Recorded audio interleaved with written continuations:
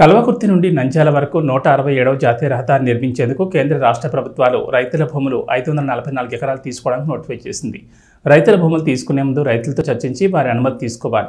అటువంటి అనుమతి ఏమీ తీసుకోకుండా రైతుల పంటల భూముల్లో పంటలను నాశనం చేస్తూ రాళ్ళు పాతడం జరుగుతోంది. దీన్ని రైతు సంఘాలుగా తీవ్రంగా వ్యతిరేకిస్తున్నామని ఆంధ్రప్రదేశ్ రైతు సంఘం జిల్లా అధ్యక్షుడు రమేష్ కుమార్ జిల్లా కార్యదర్శి రాజశేఖర్ జిల్లా నాయకులు రామచంద్రుడు సుధాకర్ రైతు సంఘాల సమన్వయ వేదిక నాయకులు భాస్కర్ రెడ్డి కలెక్టర్ కార్యాలయం ముందు జరిగిన ధర్నాలో వారు మాట్లాడుతూ తెలిపారు. భూములు కోల్పోయిన రైతు కుటుంబాల్లో ఒకరికి ఉద్యోగం కల్పించాలని నష్టపరిహారం ఇచ్చిన తర్వాతనే రోడ్డు నిర్మాణం చేపట్టారని వారు జాయింట్ కలెక్టర్కు వినతిపత్రం సమర్పించారు. గ్రామసభలు జరపాలి రైతులతో ధరలు నిర్ణయించాలి వాళ్ళ పట్టా భూములతో పాటు అనుభవంలో ఉన్నటువంటి బంజరు పొలాలు అన్నిటికి కూడా ఎలాంటి ఆధారం లేకపోయినా గ్రామ సభలో నిర్ణయించి వాళ్ళకు నష్టపరిహారం ఇవ్వాలి.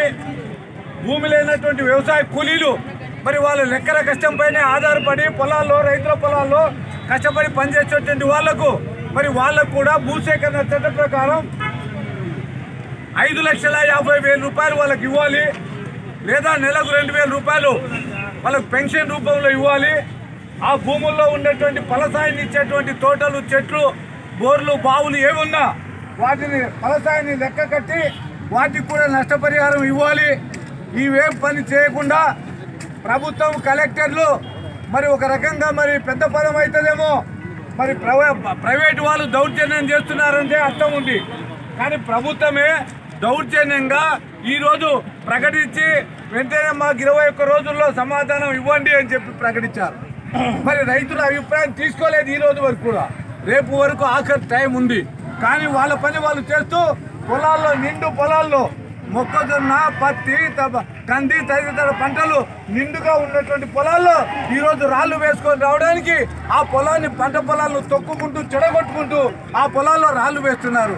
ఇది న్యాయమా? ఇది ఎక్కడి న్యాయం అండి జగన్మోహన్ రెడ్డి గారు మరి ఆలోచించండి. రైతు బిడ్డగా అనేటువంటిది చెప్తా ఉంటావు నువ్వు. మరి ఈ రైతుల గోడు పట్టదని చెప్పి సందర్భంగా మేము వారిని కోరుతున్నాం. అందుకే భూసేకరణ చట్టం ప్రకారం మరి మీరు ఆ చట్టాన్ని ప్రభుత్వాలు చేసేటువంటి చట్టాన్ని ఇప్పటికే హైకోర్టు తీర్పిచ్చింది. ఆ చట్టాన్ని